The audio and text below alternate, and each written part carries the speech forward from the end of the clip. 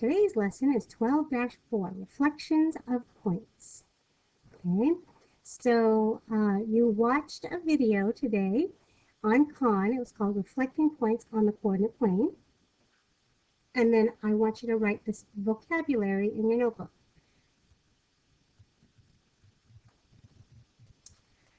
A reflection is the mirror image produced by flipping a figure across a line. So let's see, when a point is reflected across the y-axis, the y-coordinate stays the same and the x-coordinate reverses its sign. It becomes the opposite.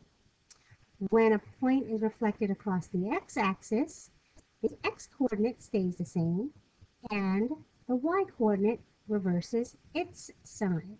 Make sure you write that down. All right, so here we have it highlighted. If we're reflecting across the y-axis, the x-coordinate becomes the opposite.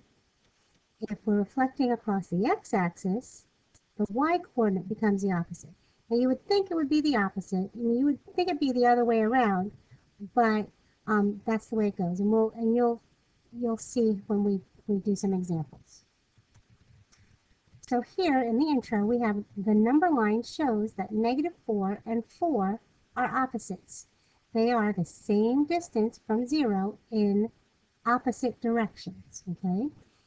So we've got 1, we've got one, two, three, four units, and we've got one, two, three, four units, and that's going um, in the positive direction, and this one is going in the negative direction. So they are in opposite directions, but they are the same distance from zero on the number line. That means they are opposites, okay? So you could say that positive 4 is a reflection over 0 of negative 4. Now in a coordinate plane, the points negative 4 comma 0 and 4 comma 0 are the same distance from the origin in opposite directions. So those points are reflections across the y-axis. So if you look at this, here is here's the y-axis, okay? And here we have here we have um, negative 4 comma 0. Okay, so it's negative 4 comma 0, 0. And it's 4 units away from the origin. And then we have the reflection of that negative 4 comma 0 at positive 4. 1, 2, 3, positive 4 comma 0 right here. So those are reflections of each other. Now, notice what we have right here. Okay, it says in a coordinate plane, when you reflect a point across a line, you name the reflected point using prime notation. In the figure here, right here, I'll highlight it, it says A with a little tick mark there, okay? So that tick mark, the way we say that is composite, okay? So here we say that point A is at negative 4 comma 0. And then we say the reflection of point A is at a composite, which is at 4 comma 0. Okay, so a composite, if you look up here, it says, I'm going to write it a little dark, um, bigger. It says a composite 4 comma 0. So this part right here is the A composite. That's telling you that that's the reflected point. So the way we write A composite is A with a little apostrophe like that. So for example one, we want to identify reflections of points across the x-axis. Now, if we are, just like we said in the, in the vocabulary, if we are reflecting across the x-axis, that means the y value is going to change to the opposite. Okay, so let's take a look at this. We want to write the ordered pair that is a reflection of A, point A, at negative, th negative 3.5, comma 2, across the x-axis. So we want to reflect across the x-axis. Reflect across the x-axis, and the point that we want to reflect is this. So this is our original, our original point, okay? So, negative 3.5 put it on the, on that coordinate plane. So here's negative three and a half, comma two. So negative three and a half goes to the left and up two. So here is my um, original A. Now, so now here it says, find the point on the coordinate plane that is the same distance from the x-axis as the original point, and then graph and label it. So here you can see this is um, three and a half units away from the, oh, I'm sorry, we're reflecting over the um, x-axis. So here's the x-axis. We want to know, and so this point is two units away. So that's one, two units away from the, the x-axis. So that means we want the point that is two units in the opposite direction. So a composite then will be on the same vertical right here and two units in the opposite um, direction on the other side of the x-axis. So that's going to be 1, 2. So here, this is a composite. So this A composite is the reflection of A. Okay? So down here it says, when a point is reflected across the x-axis, the x-coordinate stays the same, and the y-coordinates are the opposite. So if you take a look, I'm just going to write these down. I'm going to write down these points. So we have um, A is at negative 3 and a half, comma 2. A composite is at negative 3 and a half, comma, negative 2. Does everybody see that? So we're reflecting over the x-axis. And remember, this is x comma y. Right? Those are those ordered pairs. Look at which one changes to the opposite. So here, the y value changes to the opposite. It's originally positive, now it's negative. So when we reflect over the x-axis, the y value becomes the opposite. So, with your table partners, I want you to write the ordered pair that is a reflection of Q, um, 1 and 1 half, comma, 2 and 1 fourth, across the x-axis. Okay, you can graph it, or you can do what we just did right here.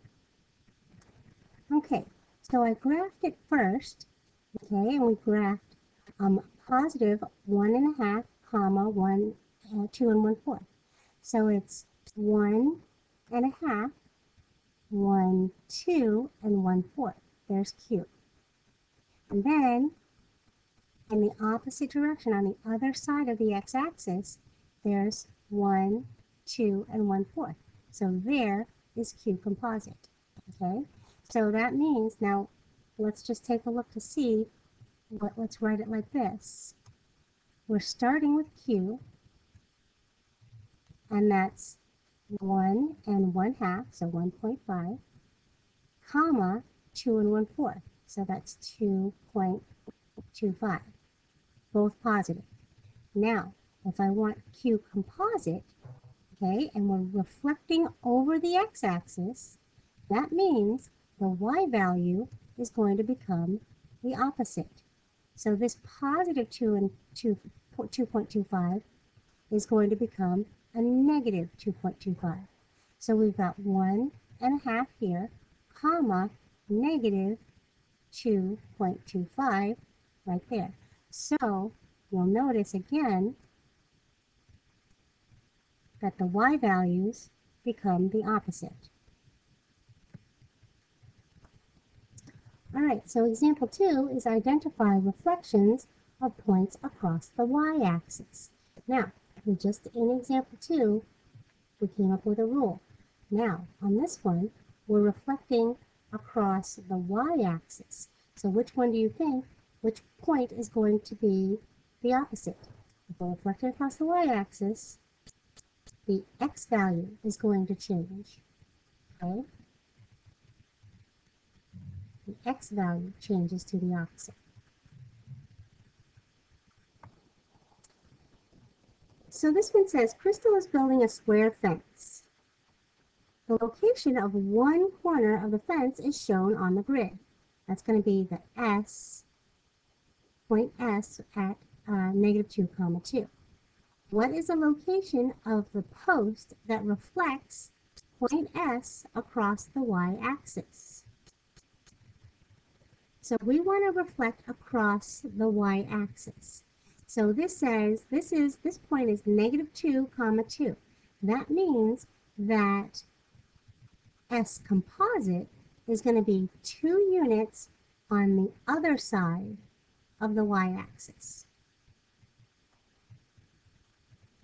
So here, let's do this in blue. So that's S. So we've got um, from the y-axis, we've got 1, 2.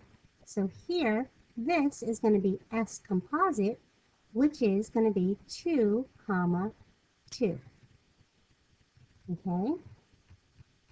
Now, again, you can look at that by using those, um, I'm going to write it down here.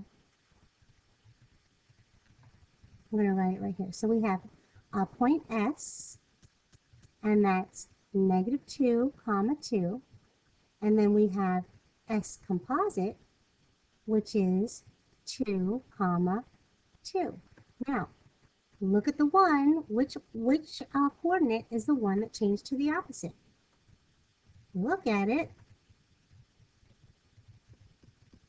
The x value changed to the opposite.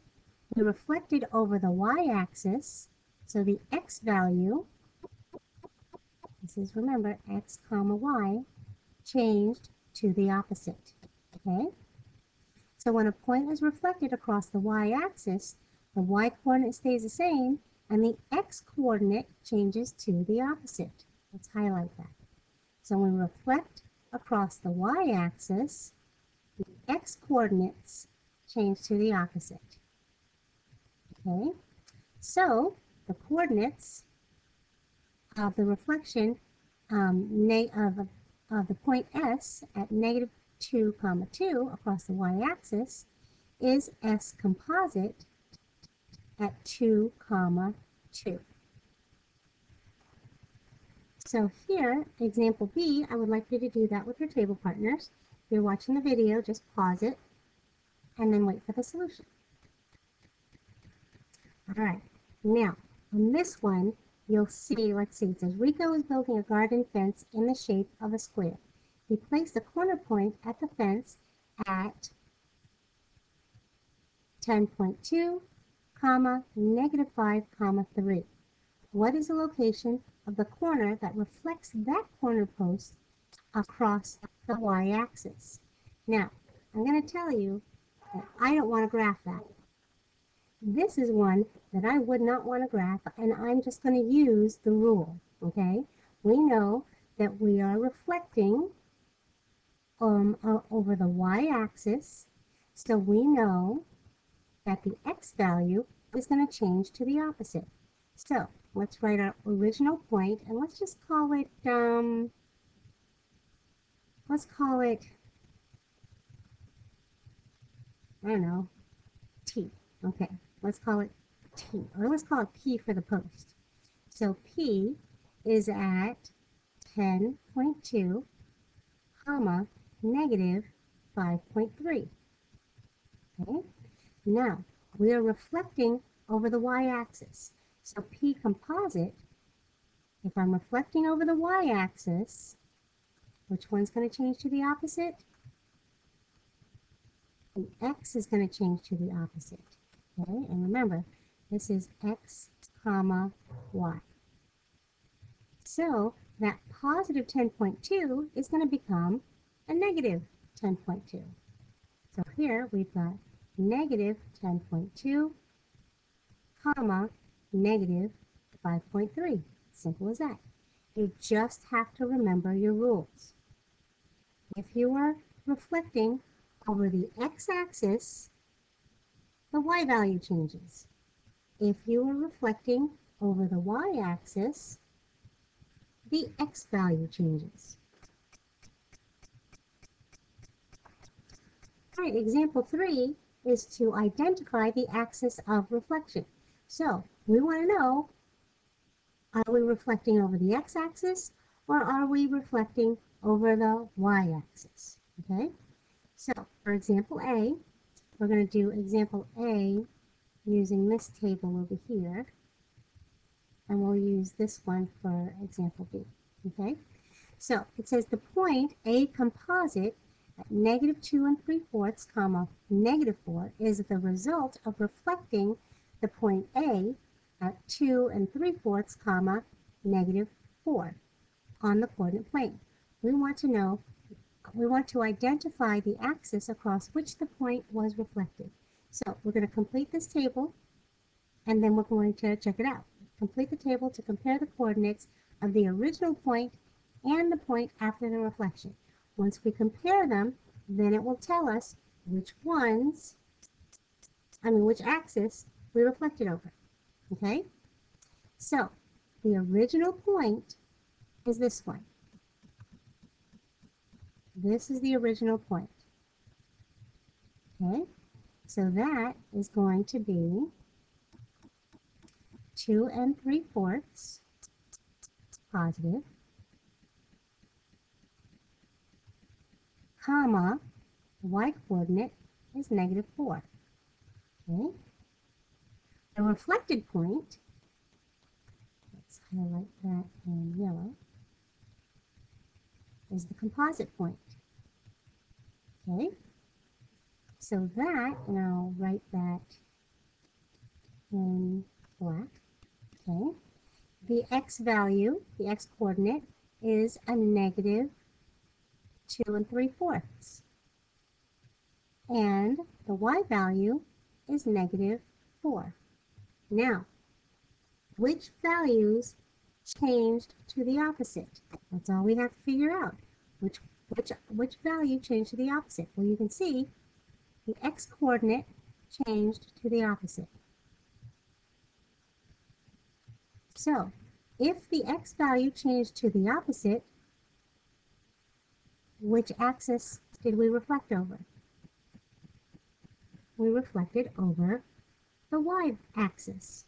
We reflect over the y-axis, the x value changes to the opposite. You get it? So let me write this in red. And here. So we reflected over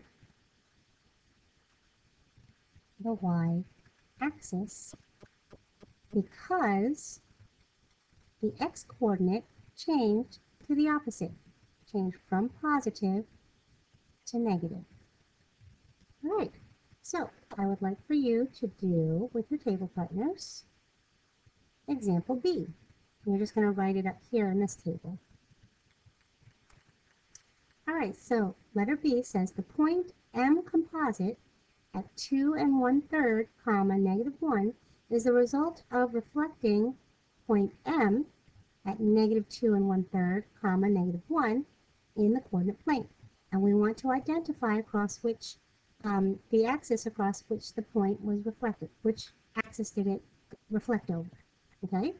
So, we want the original point.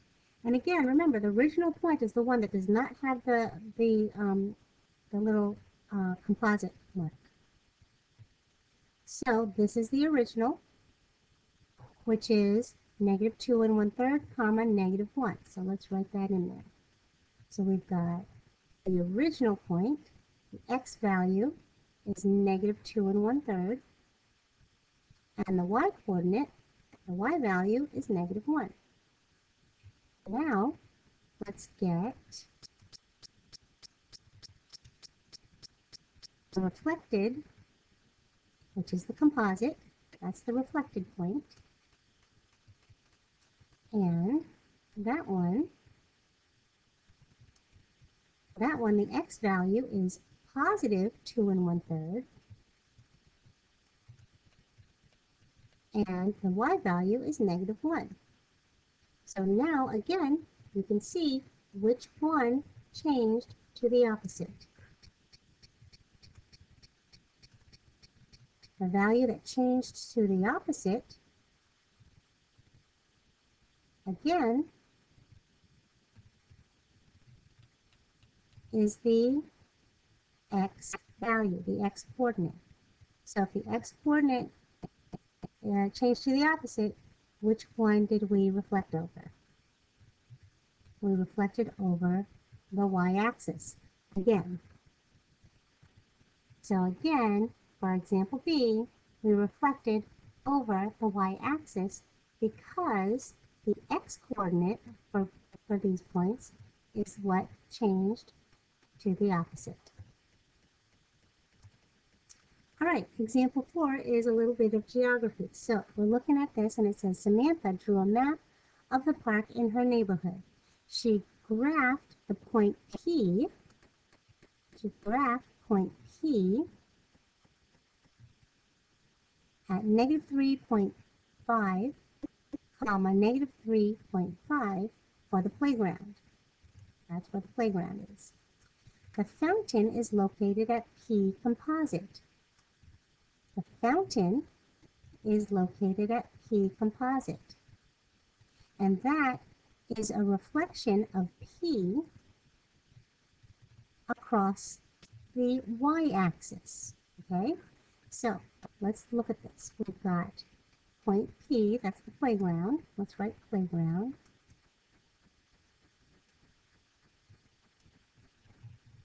Okay, and that is at P negative three and a half, comma, negative three and a half.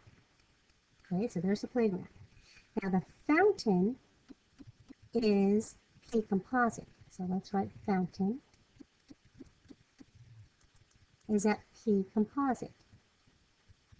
Okay, now this is a reflection across the y-axis. It's a reflection of P. So if we're reflecting over the y-axis, which value changes to the opposite? The x value changes to the opposite. Okay? The x value changes to the opposite. So let me just highlight my x value just so I don't make any mistakes. And we're going to change that to the opposite. So P composite, or where the fountain is, is going to be at positive 3.5, comma, negative 3.5. Okay. Now, it says the picnic tables are loaded, located at P, and look, there's two of them there. So the way we say that, picnic tables are located at P composite composite. Okay? So that's where the picnic tables are. P composite composite. So let's write that down. So we've got uh, picnic tables.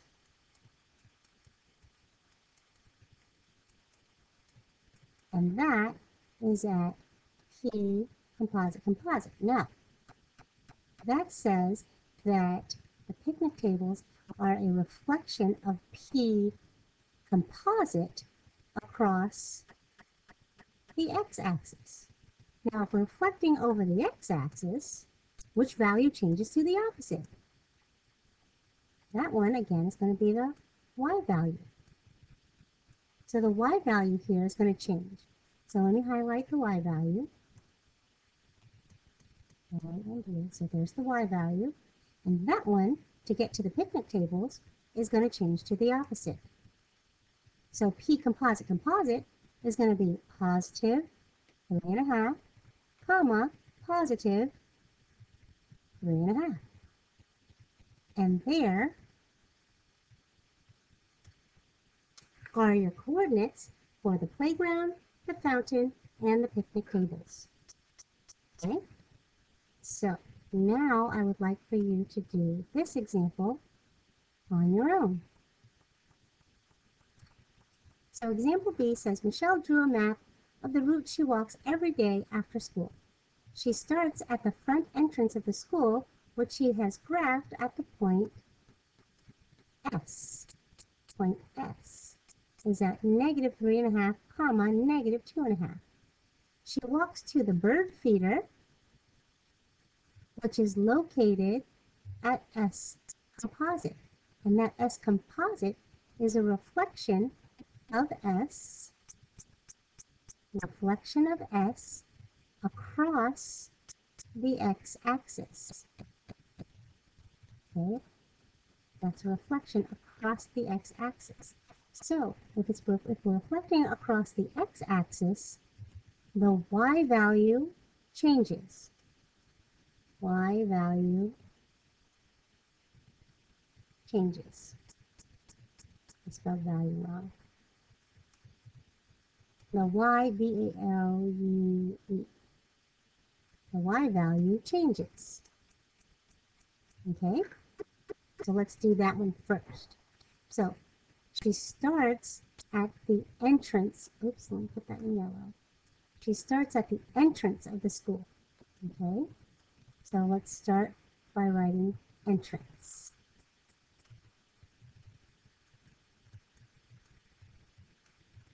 And that point is S, point S, and that is at negative three and a half, comma, negative two and a half. Okay. And then she walks to the bird feeder. So let's write bird feeder.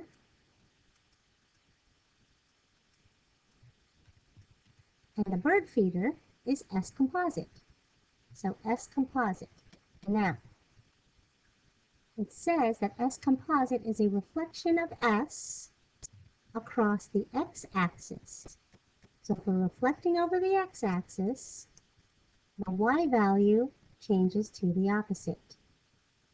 Okay, so my new point for my bird feeder is negative three and a half, comma, positive two and a half. Okay, now once she walks to the bird feeder, then she walks to her uh, to where her, her mom picks her up, and that's going to be an S composite composite. So let's write pickup Okay, and that's going to be S composite composite. Now, let's read the details. So, let's see. S composite composite is a reflection across the y-axis. Okay, and that um, would be a the it's a reflection of S composite because we did composite, now we're doing composite composite. So S composite composite is a reflection of S composite. Don't get confused. Now, we're reflecting across the y-axis. So if we're reflecting across the y-axis, the x value changes.